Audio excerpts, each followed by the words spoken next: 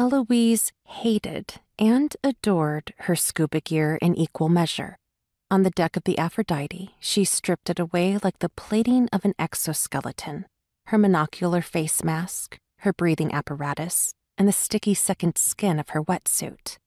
Sunset stained the sky, reflected in choppy shards across the surface of the ocean.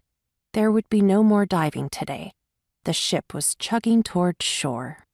With a frown, Eloise stowed her gear below deck. The metamorphosis was complete.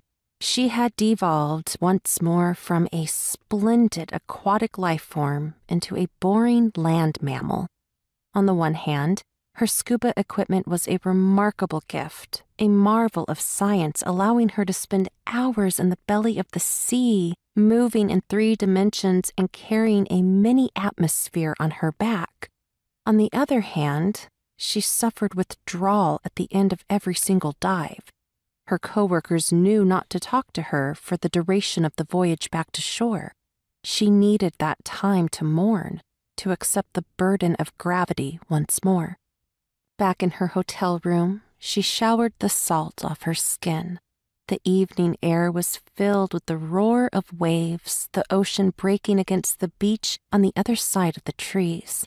Eloise wove her hair into a frowsy braid.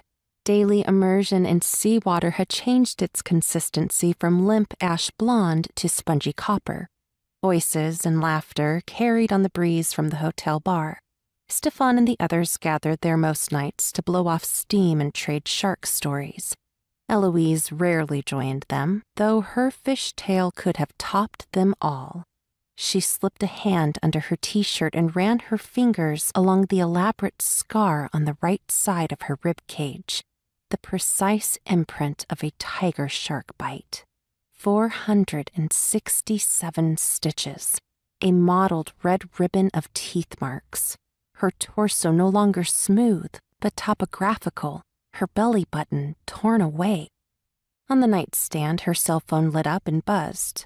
Eloise picked it up, observing that she had missed 34 calls during today's underwater sojourn, all from her brother. There were a few texts, too. Call me back, and later, the 10 year anniversary is next week. Can you please get in touch so we can figure out what we're going to do? And later still, I won't pick a fight, I promise. Finally, you're such a goddamn brat. Eloise considered several replies before turning her phone off and sticking it in a drawer.